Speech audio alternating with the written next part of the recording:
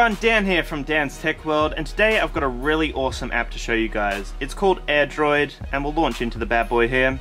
It basically just sets up a wireless connection from your device to your desktop, and it sets up a complete desktop interface for all of your files and all of your content from your Android device. Now everything is connected here. It is a short process to set up everything. You just need to set up an account and play around with a few things, but once everything is set up, you can then launch into your desktop. There will be a link in the description below to check out this application, but basically all I do now is close down the application and lock my device.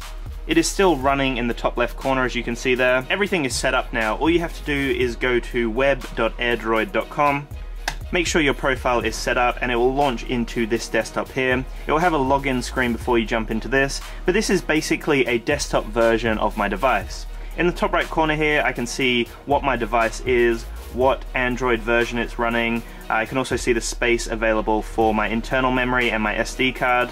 And then I have a toolbox over here, and this allows me to drag and drop files into my phone wirelessly, and that is a really useful feature to have. I also have a search option along the top here to search through my device.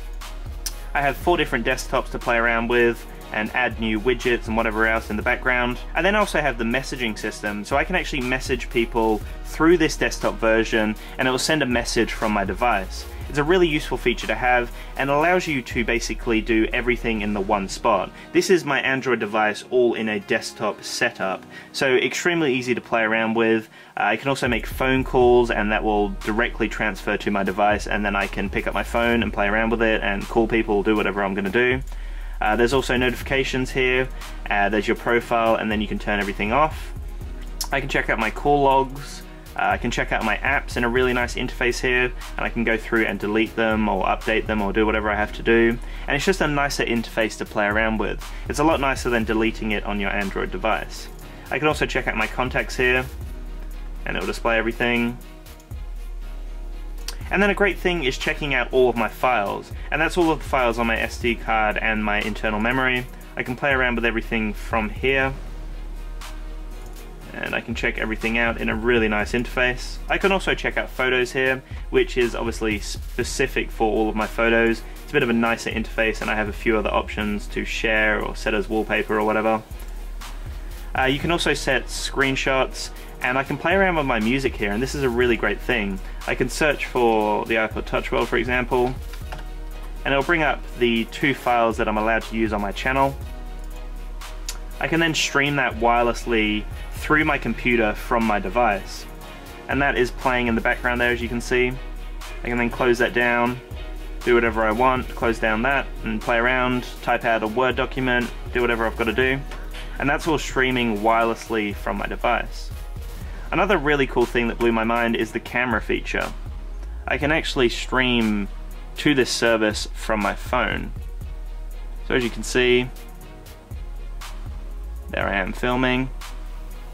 And there is a slight bit of lag, but it's amazing that I actually have this ability from this desktop application.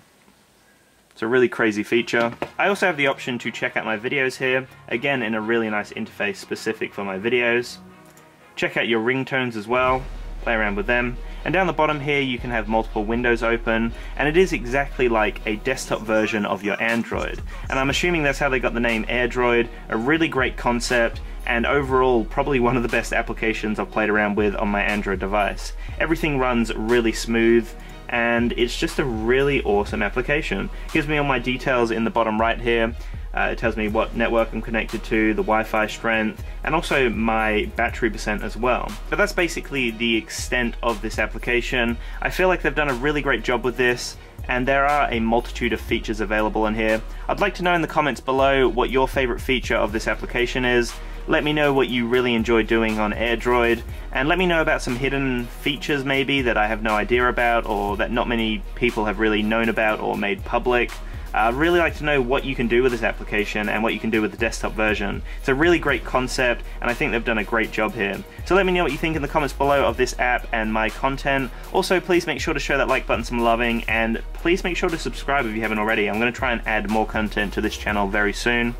Anyway guys, Enjoy the rest of your day and peace out.